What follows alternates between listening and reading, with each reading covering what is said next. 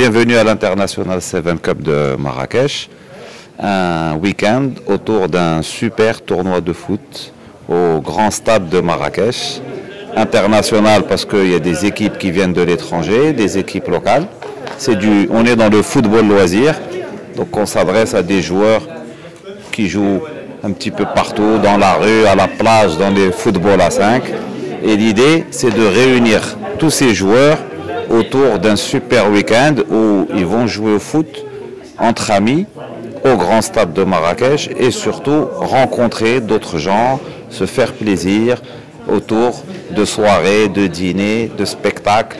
Et donc on est là pour jouer au foot entre amis et se faire plaisir. Peut-être que M. Fraj veut rajouter un petit mot pour euh, étayer pas ce grand que chose je à dis. dire, pas grand chose à dire, mais effectivement des passionnés de foot qui veulent partager cette passion avec des millions de footballeurs de par le monde, et on veut partager justement qu'il y ait un échange entre les joueurs marocains, les joueurs européens ou étrangers ou autres. À la colline, c'est un week-end pour euh, à- harmoniser le, le tourisme et le sport et faire découvrir notre pays à l'international, et c'est ce qu'on essaye de faire, euh, et avec euh, votre, votre soutien et votre encouragement.